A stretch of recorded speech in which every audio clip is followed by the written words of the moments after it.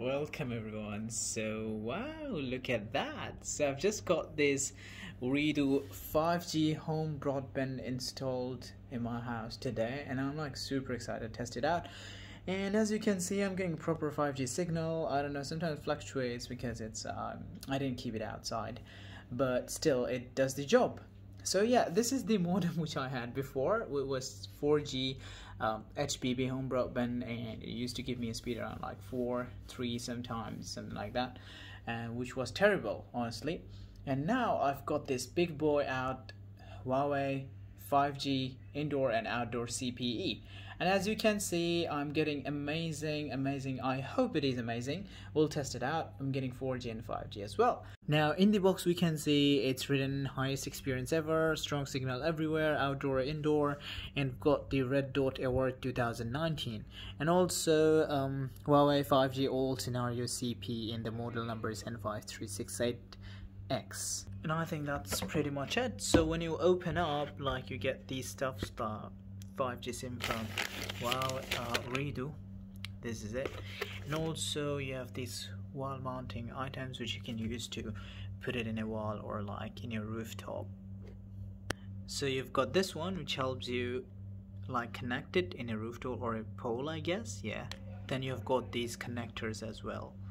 Wrappers I guess once again coming back to my modem i as you guys can see like i just kept it in my bedroom for now and uh, yeah i'm super excited to test it out. Let's go. So in the very beginning i'm going to talk about the 2x's dual band router because this router here it gives you like there are four antennas inside okay? So you hear like this is where the sim card goes in and stuff. We'll talk about that later. Yeah?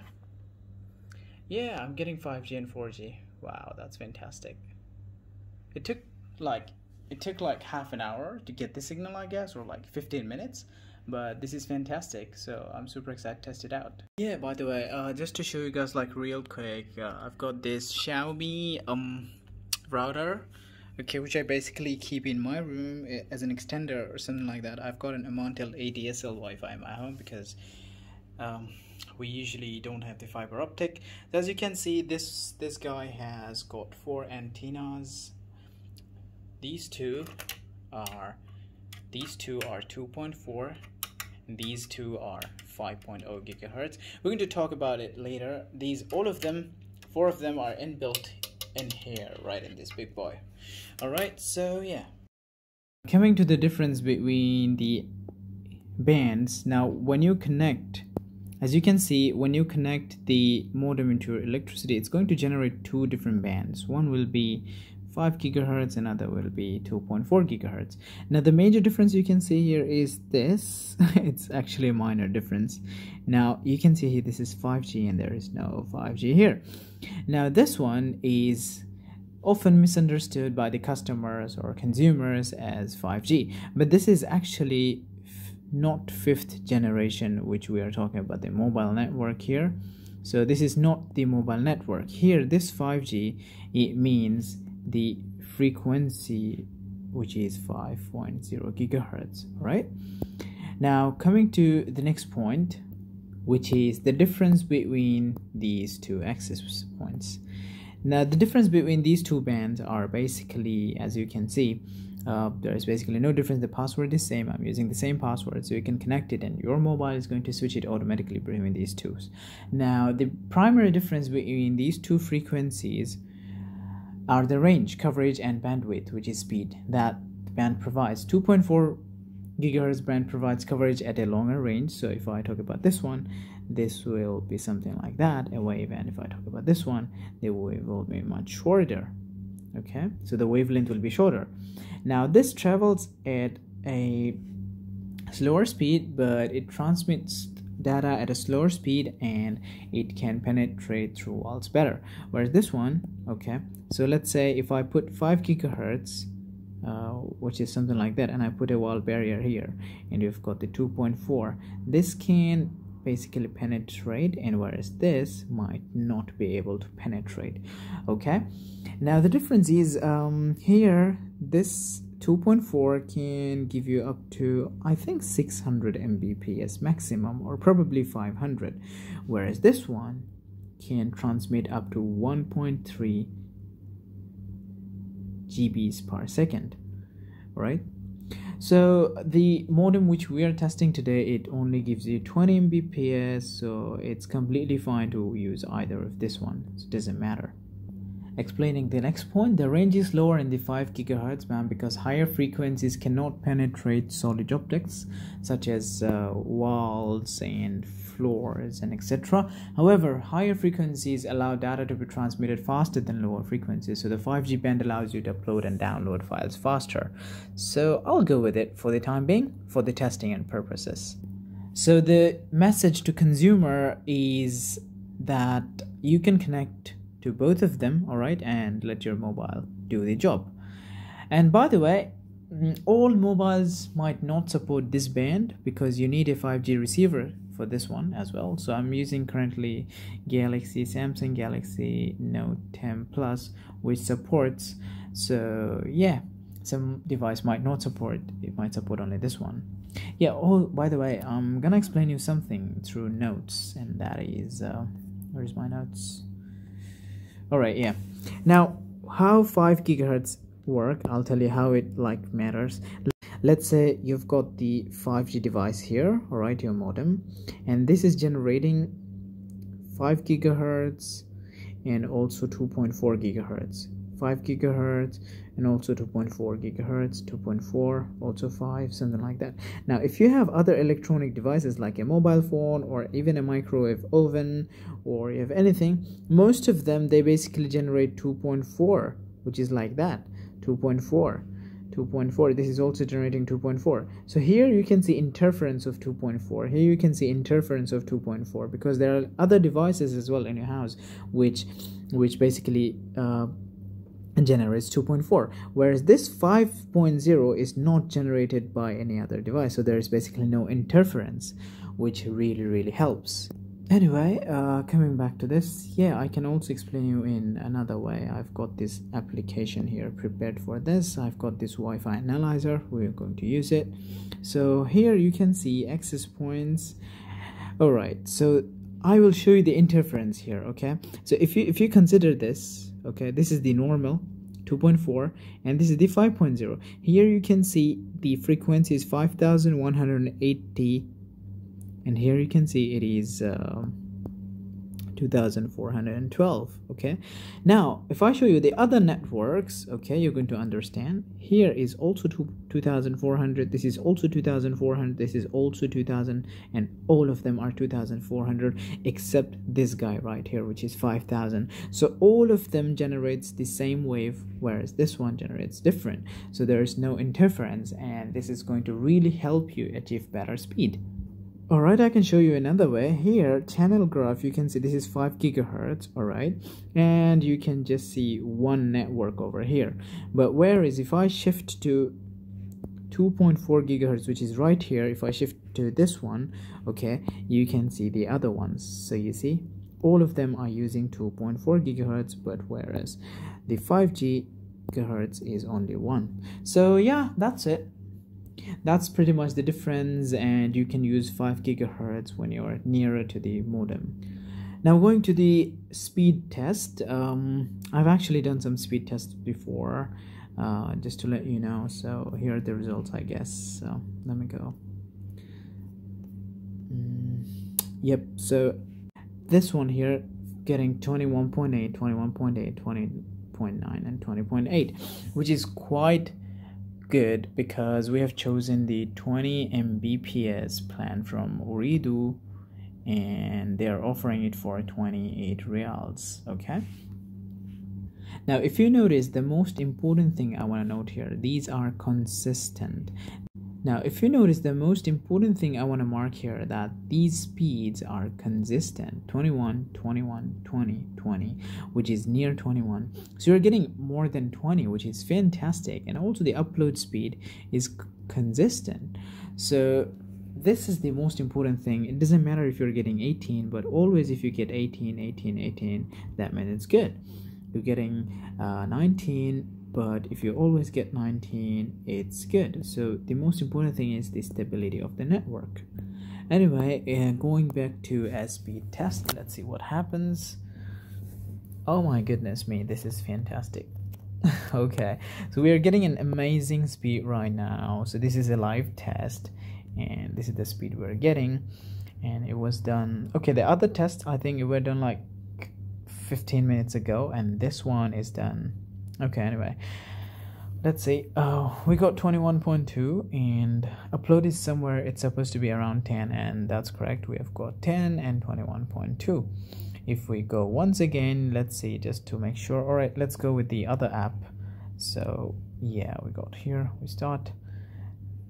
And uh, let's see with the other app. Yes it does reach 20 and more than 20 at times. So this is the perfect download speed for 4k streamings youtube gaming and etc and i'm going to show you that as well. Now yeah so this is proved and it's a really really nice speed. So uh, these advertisements are terrible. Anyway my home so i'm just going to go to the other room and i'm going to connect to the Omantel um, 4 mbps which they promise. Yeah. Uh, this is the Omantel 4 mbps connected in my dad's bedroom. Um, so yeah let's see what we get from that. And we can see a major difference. I'm sure we can see a major difference. So yeah finding server. All right found the server. So let's go. All right you can pretty much see the difference very very well. Now we are getting 2.8 or maximum 3 i sometimes get 2.5 sometimes get 1 it really depends. I think basically no one is using the network so it's 2.8 and uh, yeah the upload will be terrible. I can tell you that. It will be terrible. But anyway let's see. Yeah this is the upload. As you can see it's terrible. And the ping is terrible. Jitter is terrible. Well i'm not blaming Omantel for this. The fact is the technology they use we're using the old copper connection adsl so so we're going to look at uh, at the average because the average matters. So we're going to do it once again i guess yeah. And I'm probably going to get the same speed which is super amazing because 20 Mbps is a really really good speed.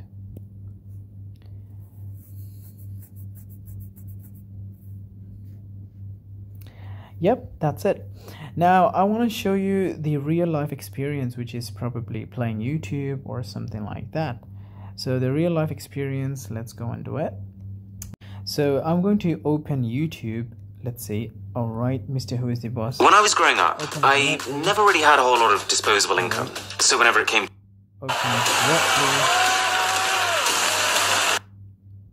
okay doesn't hello everyone. so this is going to be a really doesn't take much time. Wow. the design of this is kind of amazing. I've wanted to do this for a long time now. Just this video opens immediately. And then you've got this from iphone one even i guess opens immediately as well you've got this one. We've got four more videos like let's say this one. We created an exoskeleton like, glass you want to show you like it doesn't take much time. It just comes out you see? It just comes out it's a foot opens. So YouTube is pretty it's fantastic. Let's open this one. 14 iPhones two months of preparation. This is it. This is a brand new Nike Joyride shoe doesn't buffer at all. What is up, guys? Alright, how about Netflix? So if I go to Netflix right in here and go to TV shows and um, let's say Haunting Play.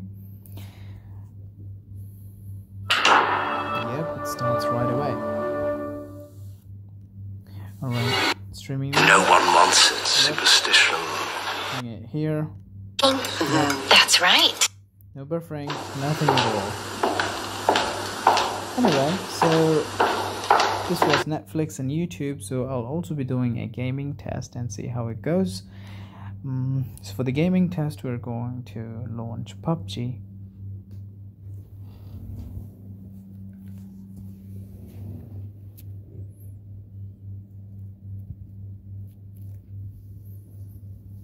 I'm just going to show you guys the ping and etc which we get here.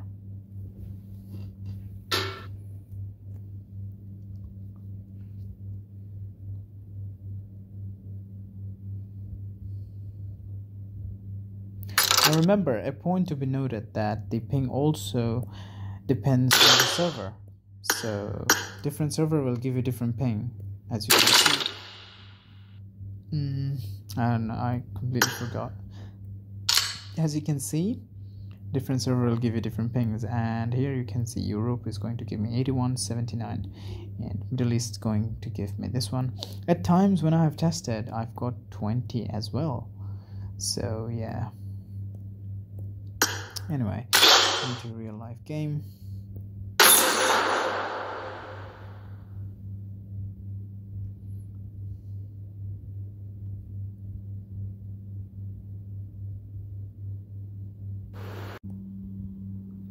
So the ping is going to come somewhere here if you notice. So let's see what is the ping.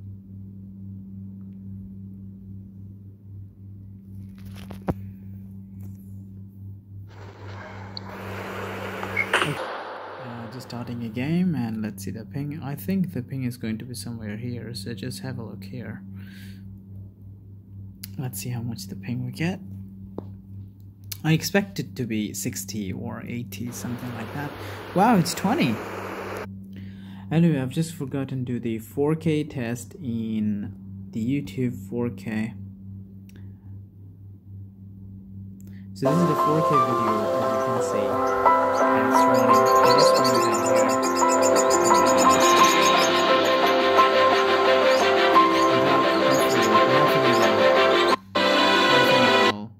here.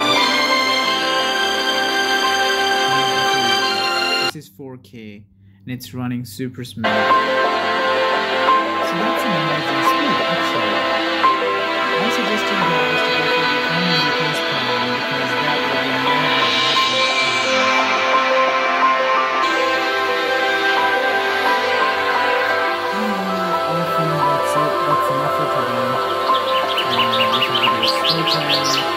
Yeah, I just want to show you this thing. We can see here. Speed under. So see, when it streams, it goes to 20. Okay, so I've got this amazing speed from uh, Ooredoo, which is 20 Mbps, and I really, really liked it. And I'm going to give it a 5 out of 5, and the rest is up to you guys. So, yeah, hope to see you in another video. Till then, bye bye, and choose Ooredoo. Enjoy the internet with Ooredoo.